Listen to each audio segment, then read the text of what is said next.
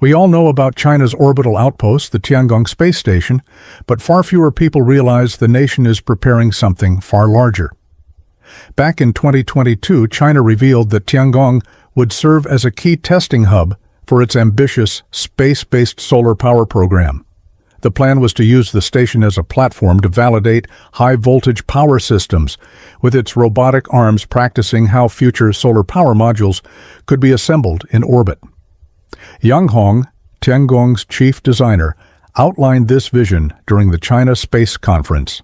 Once testing is complete, the system will travel to its own orbit, deploy massive solar arrays, and begin evaluating how effectively it can capture, convert, and transmit energy.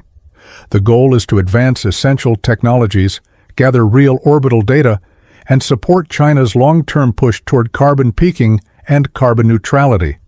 At the time, few realized this was only the starting point. Fast forward to October 2024, and headlines suddenly exploded with China's aggressive plans to construct fully operational space-based solar power stations. The project is quickly becoming far more ambitious than anyone imagined.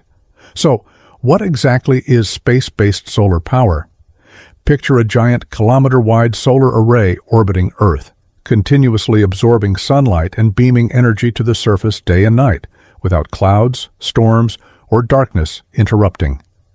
Unlike ground-based solar farms that struggle with weather, dust, and nighttime, a space system receives non-stop, unobstructed solar radiation. It captures this pure energy far more efficiently, then converts it into microwaves and sends it to receiving stations on Earth, where the power is transformed back into usable electricity and fed directly into the grid. Put simply, space-based solar power, or a space solar power station, is the concept of using satellites to collect solar energy in orbit and wirelessly transmit it to Earth. Because these satellites sit above the atmosphere, they can harvest nearly continuous sunlight, making them vastly more efficient than any ground-based system. Most SBSP designs divide the architecture into two main segments, the space component and the ground component. The space segment consists of enormous solar collecting satellites positioned in geostationary or other high orbits, allowing them to remain fixed above a single region. These satellites gather energy, convert it into microwave or laser beams, and transmit it downward. This wireless method eliminates the need for long-distance power lines either in orbit or on land. The ground segment focuses on receiving and converting the transmitted energy. It uses large antenna arrays that intercept the incoming microwaves and convert them into electricity that can be fed into national grids. Alongside these arrays are the control and management systems that ensure safe, stable satellite operations and consistent power distribution. If SBSP becomes reality, it could deliver a continuous, renewable, and highly scalable energy source, one that dramatically reduces dependence on fossil fuels and reshapes global clean energy strategies. Chinese space industry veteran Long Lehao didn't hold back when describing the potential of space-based solar power. We're working on this right now, he said, calling it as significant as lifting the entire Three Gorges Dam and placing it in geostationary orbit, 36,000 kilometers above Earth. It's an extraordinary vision. He expanded on the idea even further. Imagine installing a full kilometer-wide solar array along the geostationary belt at 36,000 kilometers. The amount of energy that single structure could capture in one year would equal all recoverable oil reserves on Earth. In recent presentations, Long Lehao has consistently connected the SBSP project with China's next-generation heavy-lift rockets, the Long March 5, the evolving Long March series, and especially the massive Long March 9. These launch vehicles, he emphasized, will be essential for lifting gigantic solar power components into orbit. If completed, these orbital power stations could completely transform global energy generation. Long has repeatedly compared each one to putting the Three Gorges Dam into space. A bold analogy, considering the dam already produces about 100 billion kilowatt hours of electricity annually. It's one of Earth's largest energy megaprojects, and replicating that output in orbit demonstrates how revolutionary space-based solar power could become. Because of geographic constraints, China and the rest of the world has essentially hit the limits of what can be built on Earth. Massive hydroelectric projects are politically and physically limited. We can't simply cover entire regions with solar panels or fill critical shipping lanes with huge wind farms to satisfy rising energy demands. Nuclear fission and fusion offer possibilities, but both require major safety buffers and reliable cooling water, pushing plants far from major population centers. These constraints make scaling terrestrial energy infrastructure far more difficult than it appears. That's where space-based solar power stands out. Since orbital arrays collect energy much more efficiently, the ground facilities needed to receive that power can be smaller than the land-hungry solar and wind installations on Earth. And space offers something no region on Earth ever will, limitless expansion room. As long as we can launch hardware into orbit, we can keep adding power stations positioned over different regions, each delivering continuous, clean, high-output electricity. Beyond Earth, SBSP could also become a cornerstone for future space exploration. It could power long-term lunar bases, especially outposts focused on resource extraction, and support missions deeper into the solar system where sunlight is too weak for conventional solar panels. The China Academy of Space Technology, CAST, the state-owned spacecraft developer behind Tiangong's modules, has already outlined a detailed roadmap for its space-based solar power ambitions. CAST plans to conduct a high-voltage power transfer and wireless energy transmission experiment in low Earth orbit in 2028. Then, just two years later, in 2030, China aims to deploy a 1 megawatt station in geostationary orbit at 36,000 kilometers, assembling it in space before beaming power back to Earth. By 2035, the system is expected to scale to 10 megawatts, proving it can deliver meaningful energy output. And by 2050, the goal is a fully operational commercial power plant in space, generating 2 gigawatts using a kilometer-wide antenna and a massive solar array assembled entirely in orbit. Details about how these stations will actually be launched and constructed are still sparse, but based on China's current and upcoming rockets, we can make informed predictions. For the 2028 LEO demonstration, the most likely launch vehicle is the Long March 5B, reliable, capable of lifting 25,000 kilograms and equipped with a large payload fairing suitable for bulky power transmission hardware. Looking ahead to the 2030 geostationary mission, the demonstration could ride aboard the upcoming Long March 10. While its exact performance figures haven't been fully disclosed, it's expected to deliver around 30,000 to 40,000 kilograms to geostationary transfer orbit, especially if paired with the large diameter fairings China is developing for lunar space station assembly. For the long-term rollout of full-scale solar power stations, Long Lehao has emphasized the critical role of the Long March 9. This next-generation Super Heavy rocket, still in development, is designed to lift 150,000 kilograms to low Earth orbit or 54,000 kilograms to a lunar transfer orbit, exactly the kind of capability required for kilometer-scale solar arrays and enormous antennas.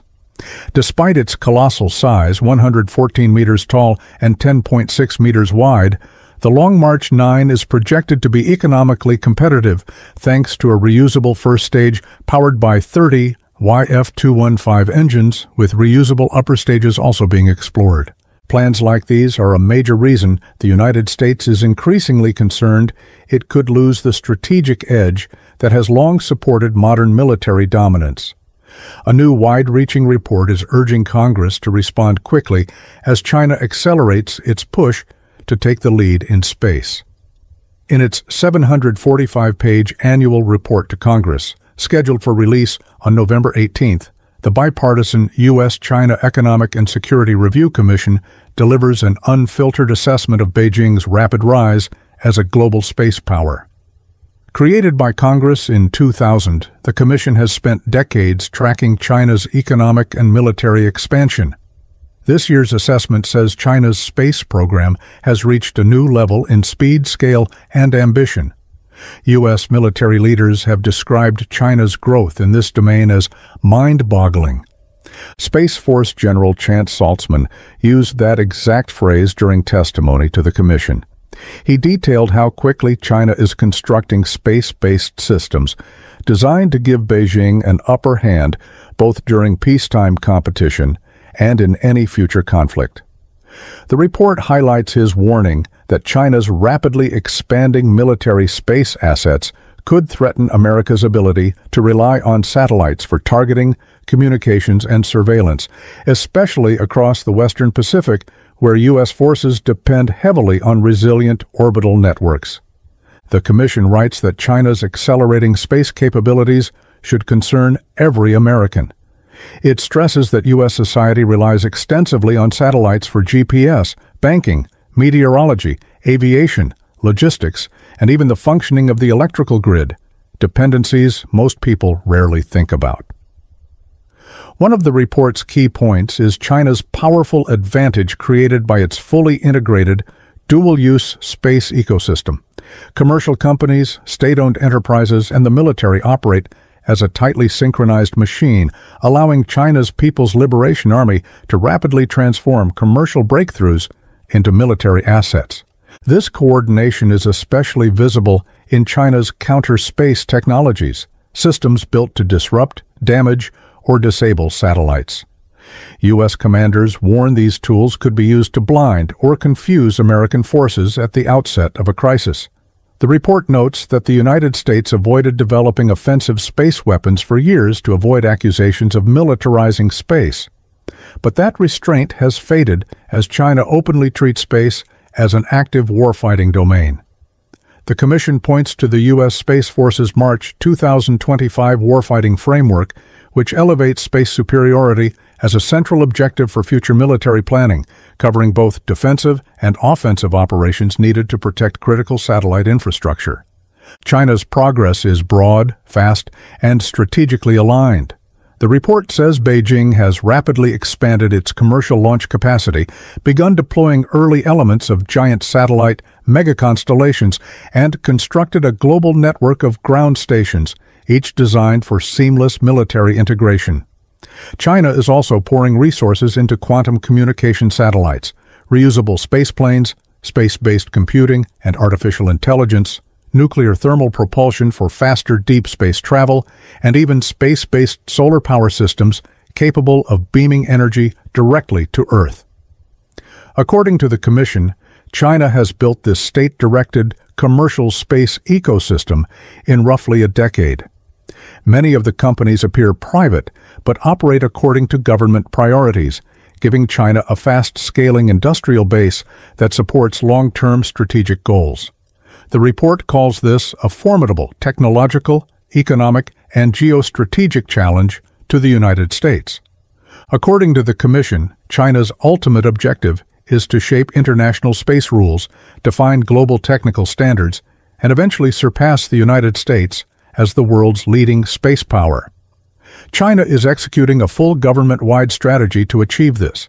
Beijing views space as a critical warfighting domain and believes space superiority is essential to dominating information, something it sees as the foundation for controlling battlefields and gaining the upper hand in future conflicts. To pursue this vision, China is rapidly developing advanced capabilities across every sector of its space program, civil, military, and commercial. This includes major advances in launch vehicles, satellite infrastructure, and worldwide ground support stations. As a result, the strategic gap between the United States and China is narrowing faster than many expected. So where does this leave the world? Are we already in a conflict with China? Some experts argue yes, at least in terms of an ongoing shadow competition in space and cyberspace. That's why U.S. Space Force leaders openly discuss preparing for future confrontations in orbit. But any potential conflict may not resemble cinematic satellite dogfights.